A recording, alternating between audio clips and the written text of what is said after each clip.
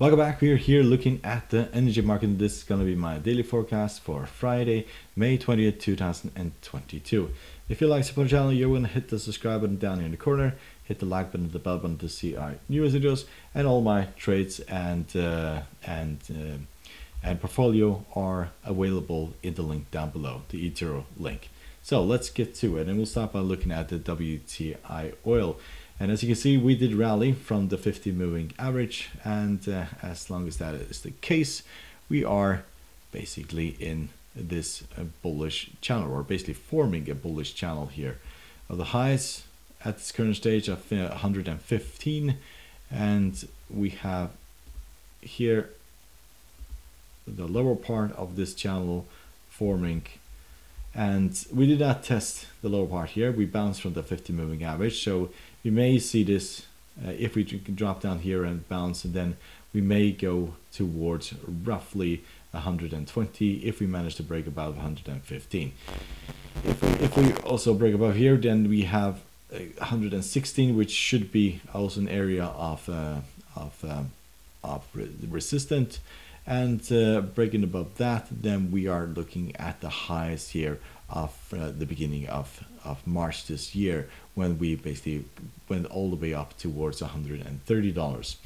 Uh, breaking below uh, this channel then we may go test the lows here of 95 93 and then the 200 moving average will come down to, into play at, uh, 50, at 85 if we look at technical indicators, we can see the MACD is bullish, stochastic is bearish, and the RSI is bearish.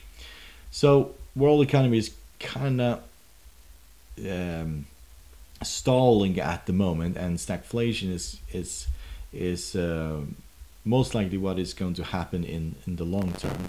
You'll, you'll see lower growth, higher unemployment, and uh, and uh, increasing inflation and the lower growth um, will basically destroy demand. So overall, in the long term, um, energy markets will take a hit due to demand destruction.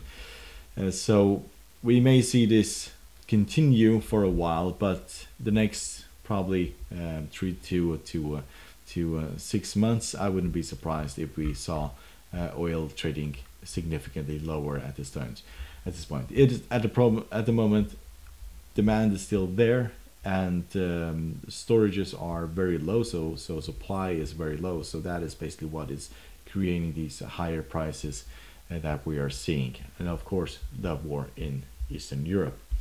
If we look at um, at uh, natural gas, we can see that we got really rejected, rejected right here at 8.5 we did pull back towards the 7.9, rallied up towards uh, 8.5, give or take, and then just fell apart. Lost roughly half a dollar within only a few, um, uh, only a few minutes.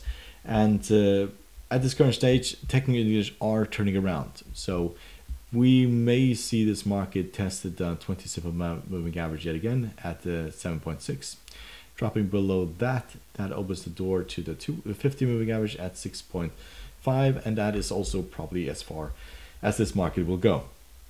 We did see um, a test of this level of 6.4 only a few uh, days ago and it is basically also these double tops here that will come into play. Breaking below the 50 that opens the door to these two highs of roughly 5.5 and the 200 moving average at the 5.1 and that is probably at the bottom bottom of this this market. So expectation is that demand for natural gas will increase uh, and uh, due to the fact that Russian gas is not uh, as available as it has been and therefore prices will continue rising. And as long as people are buying the dip at the 20 simple moving average and the 50 they will most likely also continue increasing. So, hope you find it helpful. You're welcome to support the channel by subscribing, and hit the like button the bell button to see our newest videos and good luck and thank you very much.